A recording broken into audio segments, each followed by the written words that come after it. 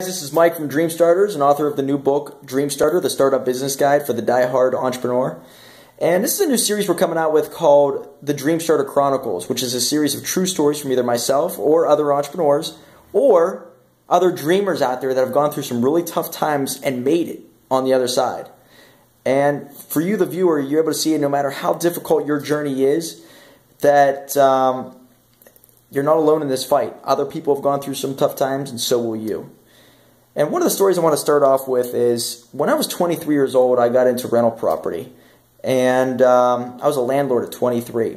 In order to save 100 bucks, I didn't have any money. In order to save $100 at the end of the month, um, I had to do whatever I could. So a tenant's toilet broke down, and I didn't have the money to buy a new one.